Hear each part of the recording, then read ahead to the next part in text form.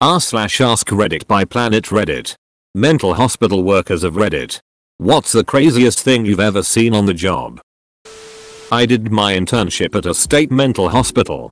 About 11 years ago. There was a guy there who spoke mostly Spanish and was known for exposing himself to various women throughout the campus. He wasn't on my caseload. But he came to plenty of my groups and was polite to me and well behaved. My last day at the hospital he walks up to me and hands me a crumbled brown paper bag and says he got something for me in his broken English. I was terrified to look inside. Knowing his reputation and his violent history. But I peeked in and was shocked to see a small pink teddy bear. I still have it. He shoved the bear down his pants before giving it to you. I guarantee it. Yeah that thing needs to be washed bad. I didn't technically work there, it was a clinical rotation for school. But I have a couple stories. So this paranoid patient, who was relatively pleasant, told us that there was a bat in her room. This was an inpatient facility. Patients don't typically go outside and windows don't open easily. She was brushed off. One day during rounds. She repeats that things are going well. But there's a bat in her room. She caught it. Everyone was doubtful. But sure enough. She pulls down her bed sheets and there's a goddamn bat trapped underneath that flies out. Felt real bad that people wrote her off for that. So now I'm very careful with people who claim to have seen or felt things that seem unlikely. I've encountered and had to help catch a bat that somehow appeared in an apartment that had been locked up for months. I feel for this woman. Bats are sneaky as duck. I was working at a campground one day when I found a bat drowning in the toilet. I scooped him out, took him into the laundry room and let him warm up. I thought he was dead for sure until he started flying around. Twas a beach trying to get it out of the laundry room but I'm still pretty proud of saving it. Before I started one patient ate a whole clock that was in his room. I bet that was pretty time consuming. He asked for seconds. But they didn't have a minute to spare. My wife works in a psych ward and she had a lady recently give birth to tea bags after claiming to be pregnant during her stay. She shoved them up there and acted out a whole birth and everything. When that was all said and done, she spent a few days screaming at the nurses and techs to give her the baby back. She went to a long-term treatment center after that. When her water broke was it boiling? No. Her vagina whistle. I wish I could not read this. My thoughts exactly. My brain was screaming no no no no no no no but I just kept reading. Ugh. While I was doing clinicals nothing terribly exciting happened. Because we were kept in the safest unit. But one of the longer term staff there told us about a girl who was in her room and rubbed holes into both forearms to commit suicide. He had even taken pictures. Which were super raunchy though badly lit. But this girl had rubbed the skin and veins in her arm down to the bone. Obviously she died. Bro. That's horrific. That's so sad. How did she do it? I was a rec therapist at a state hospital after college. I worked in what was the aggressive male unit. We had all the murders, child molesters, and aggressive males. On the unit there was a wing that was locked at all times for the patients that needed extra supervision. One guy was actually caught committed to this wing. He would take advantage of the week so he was on a Q15. Which was a visual check every 15 minutes. Once they found him in the bathroom during a check buying pee from another patient for $2. He told the staff that he wanted to gain the power and strength of the other patient. Another guy didn't have an Axis I diagnosis. Only mild mental retardation. But was aggressive at times and really big so the state sent him to the hospital because there was nowhere else for him. He would love cookies and snacks. But did not have money. He figured out that if he went to the actual hospital they would bring him cookies, snacks, and Shasta ginger ale. So he began to swallow things to go to the hospital. If not watched closely, he would pull the clock off the wall and swallow the batteries just to get snacks. After I left the hospital, I read a story in the paper about a patient drinking bleach and dying. So I called an old co-worker and they confirmed that the patient swallowed bleach after a janitor left the utility closet door unlocked. I have so many stories about that place. I miss working there. It was hands down the most fun I ever had at a job. All the patients loved me because I was the guy that would hang out with them and take them out of the hospital on field trips. We have a girl that comes in all the time who does the same thing. She's too high functioning for her group home but low functioning enough the state has custody and won't can't relocate her. Her care plan is absurd may only go to certain hospital, is to be in a room not socializing in hallway, no ginger ale. Water only with no ice it sounds mean but she's also a top ranked abuser of health system in the state. And yeah. It would just be cheaper for the DPH to relocate her. I'm glad you had fun working there. After reading the first two sentences I was expecting the opposite. Are you willing to share more stories? My friend told me this one. She works at the mental hospital in my country that gets the most challenging teenage patients. They got this 12 year old girl who broke her own thigh bone in her room during the third night. Imagine the willpower with that one. Obviously it became a huge deal because that shouldn't have been able to happen. Duck me. Just how? I don't know the details. Because my friend was so shocked about this. She was just out of school when this happened. I felt like she wasn't exactly ready for her work yet. But she wouldn't really talk about it, not that she's allowed to anyway. But what I gathered once when she was really drunk was that the girl just dropped something really heavy repeatedly on the thigh when the thigh was above the air and the rest of the leg was on something solid like a table. I don't know if this is the case 100% and what are the details. But that's the imagine I got. She won't talk about it. So that's all I know. But wouldn't the leg just move or snap from the knee? I really don't know. But it was a thigh bone that she broke. Her dad had broken her leg and arm before. Burned her to the stove and done all kinds of absolutely terrible stuff. Maybe she was used to the pain by then. I don't even want to tell about the absolutely shitty stuff her dad did. I really don't know how a person can do that to themselves. But maybe her childhood explains it, and I know I shouldn't know about this. Because my friend is a nurse. But she really needed a person who would listen about all that terrible stuff she saw. I once pulled a toothbrush out of a man's ass as he yelled duck my kitten. At the top of his lungs. Yes. But enough about your hobbies. What about while you were on the job? They have now been married for 8 years. My grandfather worked at a mental hospital. His favorite story that he used to tell me went something like this. One day I was watching the wards when all of a sudden a huge fellow came running at me. Well I was scared out of my pants since there was no way I could possibly fight this guy off. Just as he came close and I thought it was the end for me. He kept running right past to the bathroom that was behind me. He always got a good laugh out of that one. People being psychotic and even the violent are things you get used to. The extreme incompetence of a large portion of the staff members.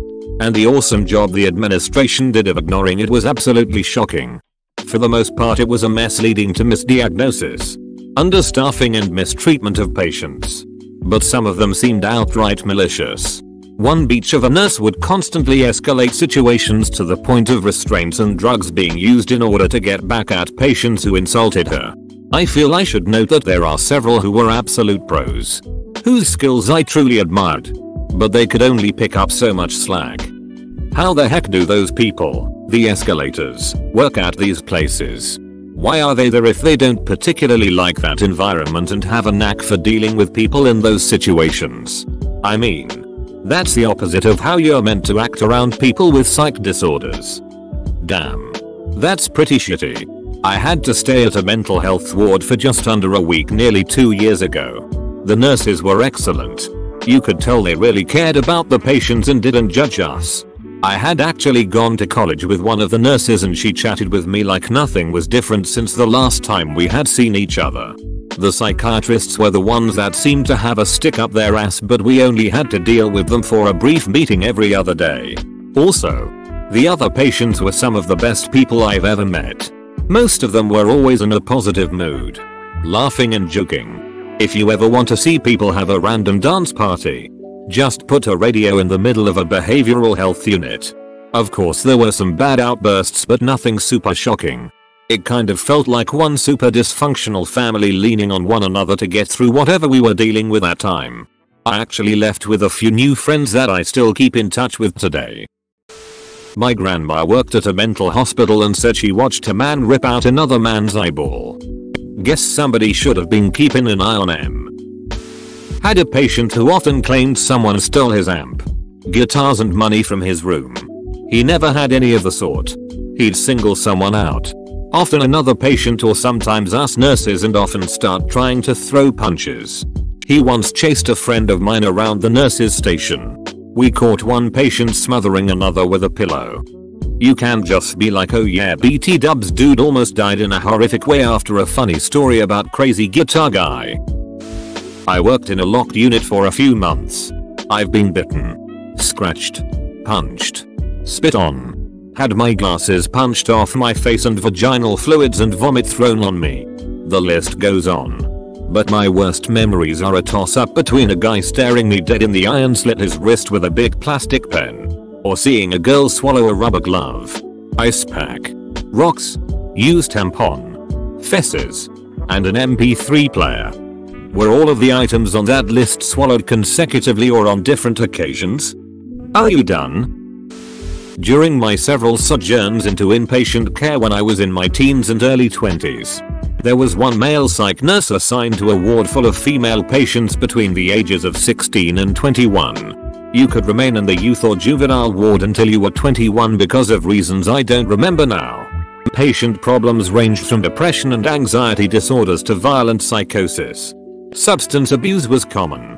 It was well known among the patients that you could get cigarettes, alcohol, Adderall, and Vicodin from this one nurse in exchange for sexual favors. He was there for years. He was reported on occasion. But those reports never led to any disciplinary action because, well, who would you believe?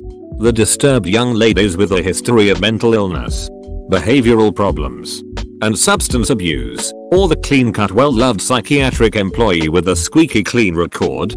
Edit to clarify. Nurse guy was way more subtle about this than I make it sound. He wasn't handing out pills like Skittles and getting a dozen blowjobs a day. And he was good at picking victims. And also the facility was understaffed and not well run. That's terrible. Wonder why they don't have cameras or anything in a psych ward all places. Stuff like that could be caught if there was.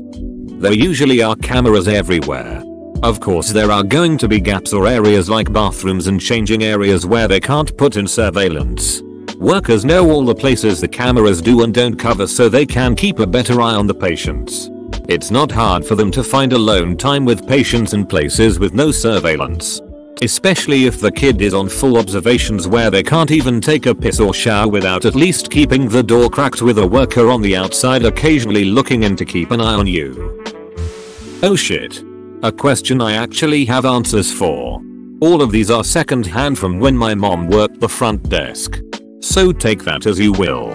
One guy got into a straight up screaming match with his girlfriend. The soda machine. Like how dare you do this to me? Don't you know how much I've done for you and this family? The whole shebang. One kid. When she worked admissions. Came into her office and ducking trashed IT. Then broke a red pen. Splashed it on himself and on the wall. Can confirm the wall splash. Saw it firsthand. And tried to start screaming that she was attacking him. My mom is like the sweetest woman you will ever meet. So the techs were having none of this kid's shit. One time. Some guy walked in from the street carrying a frozen turkey. Mum saw him sit down in the lobby. He sat there for a solid hour and a half. Then got up and left. No clue what was up there. The last one is the only time my mom has ever been creeped out. One evening the cops brought in this teenager. Maybe 15 or so. She had ankle cuffs. Wrist cuffs and this weird belt that both sets of cuffs were attached to. They brought her in and basically stood her in the center of the waiting room while the cops got her paperwork sorted out. This chick just bored holes into my mom's head with her eyes. Freaked mom out enough to the point that she requested to be let off early to get away from this kid. I'm sure if I asked her, I could get some more if anyone is interested. He was trying to go cold turkey, Probably too late but I had a patient who cut off his penis scrotum and ate them. Former mental patient here. There was an older lady who was so constipated. She was laid on her back in her bed with her feet in the air screaming about birthing babies while they pulled it out of her. Then she'd go about the hall talking about her new baby boy. I can only imagine what would happen if she had diarrhea or something. Poor lady. She was such a sweet lady. Very loud and so not there all the way. She was so serious about having just given birth. My dad worked as an orderly nurse at a VA hospital. He said there was a guy who would sit in a chair right outside of his room in the hallway and laugh periodically. One day my dad asks what he's laughing at and the man looked at him and said, God is telling me jokes. I wonder if God is actually funny or if he's just laughing so God doesn't get pissed off. Are you kidding me? God is hysterical. Look at this. I'm a nursing student who had my psychiatric mental health clinical in a mental health crisis center. In all reality it's not really that crazy. It's mostly Baker Acts for people who are severely depressed. Or people who are neglecting themselves due to their mental illness. Mental health units have a lot of negative stigma associated with them being for crazies and whatnot but really they are just sick people trying to get better. Just like any other hospital. Even the patients with schizophrenia or psychosis are usually there because their meds got out of whack and they are being rebalanced.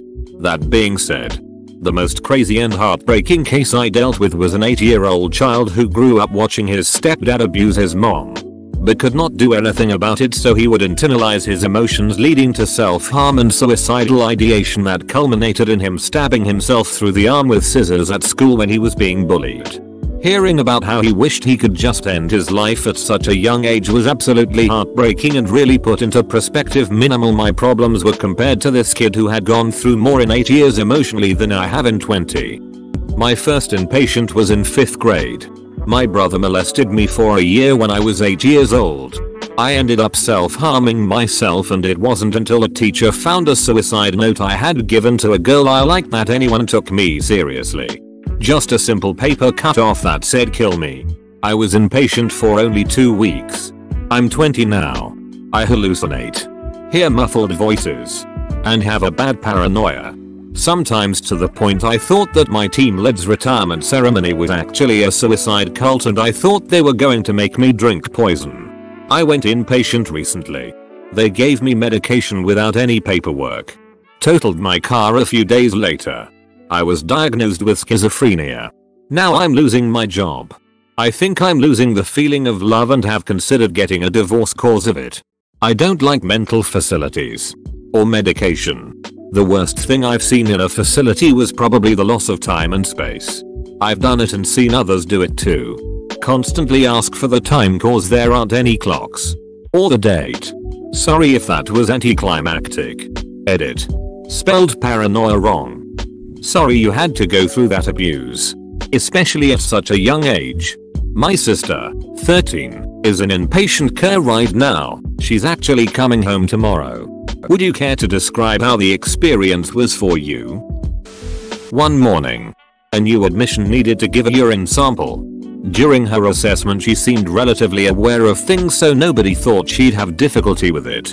So, I gave her the cup and explained I needed a urine sample. She stared at me blankly. I repeated myself. And when I got no response, I explained I needed to stay in the bathroom to make sure it was a genuine sample, the urine was her own. I turned to give her privacy. The next thing I know, I heard the sink running. She was trying to fill the cup with water. I re-explained exactly what I needed from her. She stared blankly. Mind you, I'm trying to put it as simply as possible at this point. I turned back around to give her privacy. Next thing I know, she's naked and in the shower. I re-explain what I need. And after 15 minutes of this, she complied. I left her in the bathroom and delivered the urine sample to the RN. I was then on assignment of watching a male patient whose room was next to that particular bathroom.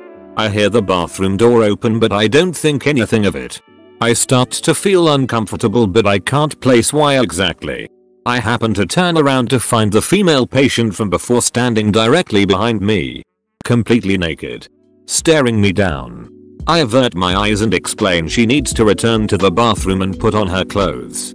She stares silently, makes an almost unbreakable eye contact with me, and starts rubbing lotion on her breasts. I explain to her again I need her in her bedroom or the bathroom and call for the nurse. The patient goes in her room as the nurse comes over. When the nurse knocks on her door, The patient comes out fully clothed and stated she had no idea what anybody was talking about. Psychotic patients sure are fun. Also, another story I wanted to add would be the time a 12 year old smuggled in her iPhone 7 Plus by shoving it up her vagina. She was only caught with it because she got her period while storing it. Not an employee but someone who had to be placed into a unit for about 3 months as a teenager. We had some free time scheduled in for a few hours every day. Most of us were just depressed, suicidal or had eating disorders. There was one girl who had been abused as a child and she had been there for a couple years. She was ducking odd. One day there was a lot of screaming from the common room and a bunch of orderlies had to pin her down on the floor. She had bitten off her ducking finger and then went all Mike Tyson and bit a chunk off one of the orderlies ears. I am happy to say that I was moved very shortly after. So I was on surgery when this happened but we had a patient who was known to our hospital for sticking light bulbs up his ass when he got stressed. Lots of psych issues obviously. Any. Go figure. He was back because he'd done it again. So I was familiarizing myself with his case and going through old notes. He's probably had 6 or 7 removals at this point. And every single case report. The surgeon documented the type model of light bulb. I don't know why. But that just amused me beyond belief. Two people tasting each other's poop and pretending they are on a reality TV show like MasterChef and one of them is judge who is tasting and the other is participating. Hum this fesses is good but could be enhanced by eating more sodium. The presentation could have been better. Maybe if you had swirled the poop. It would be more eye appealing. A few years back, I was misdiagnosed with bipolar disorder and when I went to the ER because the meds were making me have suicidal ideation, I was Baker acted. It was the worst 5 days of my life. It was scary and upsetting and the staff were either really nice or rude, impatient and inattentive. My roommate would masturbate nightly.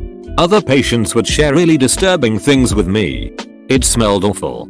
The food was awful. My bed was uncomfortable and I had trouble sleeping. A patient choked herself out with a bedsheet. Another patient stabbed herself with a pen so they took our pens away and I couldn't draw right. A staff member had her face bashed pretty hard by a tall, large patient and there was a lot of blood.